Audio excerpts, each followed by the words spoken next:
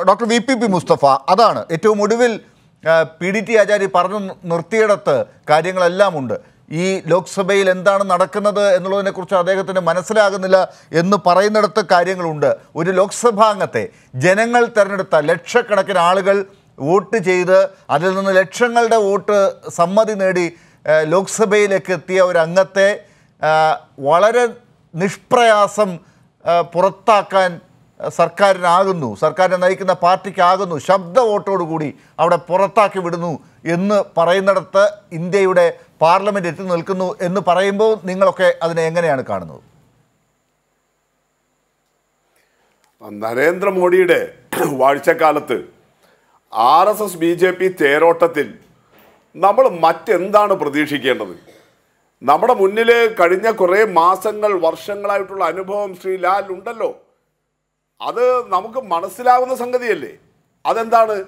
നരേന്ദ്രമോദിയുടെ നയങ്ങൾക്കെതിരെ അവരുടെ അഴിമതിക്കെതിരെ കേന്ദ്രത്തിലെ മോഡി സർക്കാരിന്റെ ജനവിരുദ്ധ സമീപനങ്ങൾക്കെതിരെ ആർ എസ് എസിന്റെ ബി ജെ പിയുടെ വിദ്വേഷപരമായിട്ടുള്ള വർഗീയ നടപടികൾക്കെതിരെ നിങ്ങൾ ശബ്ദിച്ചാൽ നിങ്ങളെ ഏതെങ്കിലും തരത്തിൽ അവർ പൂട്ടും എന്നുള്ളത് ഏതെല്ലാം തരത്തിലുള്ള അനുഭവമാണ്? വിയോജിപ്പ് എന്ന് പറയുന്നതിന് മോഡിയുടെ വാഴ്ചക്കാലത്ത് ആർ എസ് എസും ബി ജെ പിയും അംഗീകരിക്കുന്നില്ലല്ലോ. അവർ പറയുന്നത് അവരെ അങ്ങ് ജയ് വിളിച്ചു കൊള്ളണം.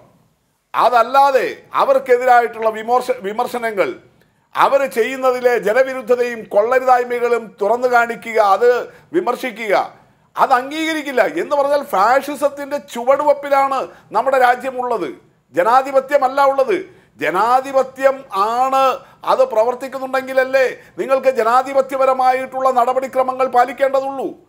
ഇവിടെ താനി ഫാഷിസ്റ്റ് വാഴ്ചയിലേക്ക് നമ്മുടെ രാജ്യത്തെ കൊണ്ടുചെന്നെത്തിക്കുക. അതിനുള്ള നടപടികൾ അവർ നിർബാധം സ്വീകരിക്കുകയാണ്.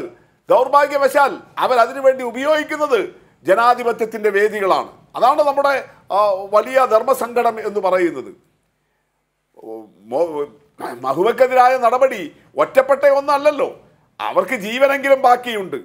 യഥാർത്ഥത്തിൽ മോഡിയെയും അദാനിയെയും ഈ വർഗീയ കോർപ്പറേറ്റ് കൂട്ടുകെട്ടിനെതിരെ അതിനിശിതമായി അവർ കുറച്ചു കാലമായി ഉയർത്തിക്കൊണ്ടുവരുന്ന വിമർശനങ്ങളുടെ അടിസ്ഥാനത്തിലാണെങ്കിൽ അവരുടെ ജീവനെ ബാക്കി ഉണ്ടാവാൻ പാടില്ല.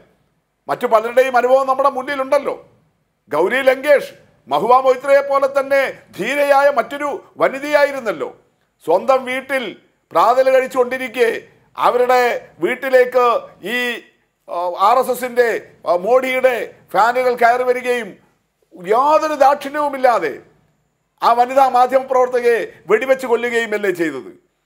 അങ്ങ അതുകൊണ്ട് അത്രയൊന്നും ആയില്ലല്ലോ. പക്ഷെ അതുകൊണ്ട് നാളെ നടക്കില്ല എന്നൊന്നും കരുതേണ്ടതില്ല. ഇന്ന് മഹുമാ മൊയ്ത്ര തന്നെ പറഞ്ഞതുപോലെ അവരുടെ പിറകെ ഇവരിങ്ങനെ കൂടിക്കൊണ്ടിരിക്കും. അടുത്ത ആറ് മാസം എന്തൊക്കെ ചെയ്യും അവരെ എന്നുള്ളത് കണ്ടുകൊണ്ടിരിക്കണം. അതുകൊണ്ട് ഈ നടപടി എന്ന് പറയുന്നത് നമ്മൾ കരുതുന്നത് പോലെ ഒരൊറ്റപ്പെട്ട സംഭവമല്ല. ഇത് പാർലമെന്റിന്റെ അകത്തായതുകൊണ്ടും അത്യപൂർവമാണ് ഇങ്ങനെ ഒരു പാർലമെന്റ് അംഗത്തെ എല്ലാ നടപടിക്രമങ്ങളെയും ലംഘിച്ചുകൊണ്ട് ജനാധിപത്യത്തിന്റെയും പാർലമെന്ററി നടപടിക്രമങ്ങളുടെയും എല്ലാ മര്യാദകളെയും ലംഘിച്ചുകൊണ്ട് നടത്തിയതുകൊണ്ട് അത്യപൂർവമായ ഒരു സംഗതി ആയതുകൊണ്ട് അത് ഏറ്റവും പ്രധാനപ്പെട്ട ഒന്നാണ് doctor V P P Mustafa ഇപ്പോൾ മഹുവ മൈത്ര. പറയുന്നത് താൻ അദാനിക്ക് വേണ്ടി അദാനിക്കെതിരായി ചോദ്യങ്ങൾ ഉന്നയിച്ചത് കൊണ്ടാണ് ഇക്കാര്യത്തിൽ ബി ജെ പിക്ക് തന്നോട് അനിഷ്ടം ഉണ്ടായത് അദാനിയാണ് ഇതിന്റെ പിന്നിൽ. അദാനിക്കെതിരെ എന്ത് ശബ്ദിച്ചാലും ഇത്തരത്തിലുള്ള പ്രവർത്തികൾ ഉണ്ടാകും എന്നുള്ളത് അദാനി എത്രത്തോളം ബി ജെ പിക്കും നരേന്ദ്രമോദിക്കും ഒക്കെ പ്രിയപ്പെട്ടവനാണ് എന്ന് തെളിയുന്നു എന്നാണ് മഹുവ മൊയ്ത്ര ഇന്നലെ മാധ്യമങ്ങളെ കണ്ടപ്പോൾ പറഞ്ഞത്. അത് ഈ ഈ താങ്കൾ നേരത്തെ പറഞ്ഞ അഴിമതിയുടെ ഭാഗമായി വിശദീകരിക്കപ്പെടുന്ന കാര്യമാണോ? തീർച്ചയായിട്ടും അത് തന്നെയല്ലേ. വേറെ എന്തുണ്ട് കാര്യം?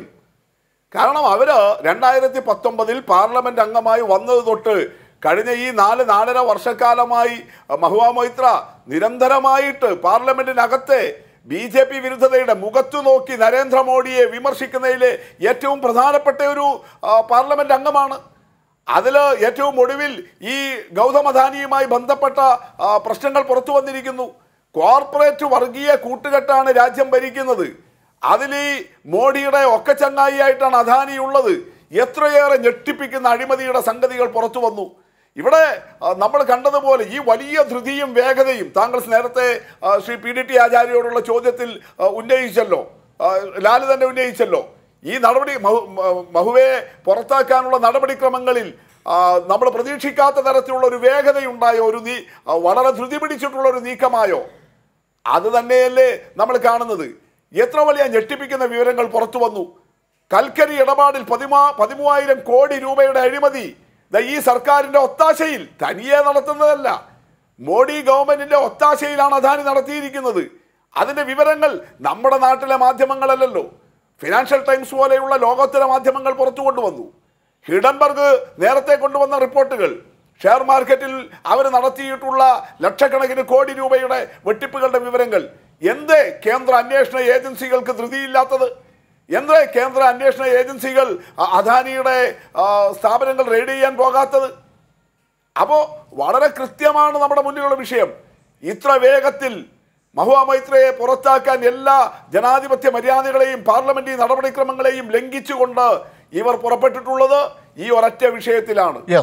അതിനുവേണ്ടി കെട്ടിപ്പൊക്കി ഉണ്ടാക്കിയ ഒന്നാണിത്. സാമാന്യ നീതി ലംഘിക്കപ്പെട്ടില്ലേ?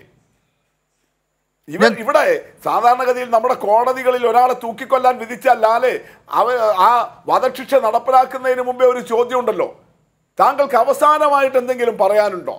അങ്ങനെ ചോദിച്ചിട്ട് ആ അദ്ദേഹത്തിന് അവസാനമായി പറയാനുള്ളതും കൂടി കേട്ടിട്ടേ ആ വധശിക്ഷ പ്രഖ്യാപിക്കുന്ന വിധി ജഡ്ജിമാർ പ്രഖ്യാപിക്കാറുള്ളൂ.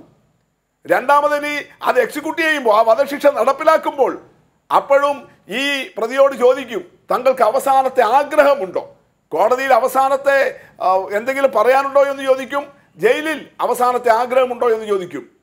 ഈ രണ്ട് കാര്യങ്ങളും ഏതാണ്ട് ഒരു പാർലമെന്റ് അംഗത്തെ സംബന്ധിച്ചിടത്തോളം താങ്കൾ സൂചിപ്പിച്ചതുപോലെ ലക്ഷക്കണക്കിന് ആളുകൾ വോട്ട് ചെയ്ത് തെരഞ്ഞെടുത്ത ഒരു പാർലമെന്റ് അംഗത്തെ പുറത്താക്കുക എന്ന് പറയുന്നത് ആ പാർലമെന്റ് അംഗത്തിന്റെ ആ തലത്തിലുള്ള ഏതാണ്ടൊരു ഗളച്ഛേദം തന്നെയാണല്ലോ. ഇവർക്ക് സംസാരിക്കാൻ അവസരം കൊടുത്തോ.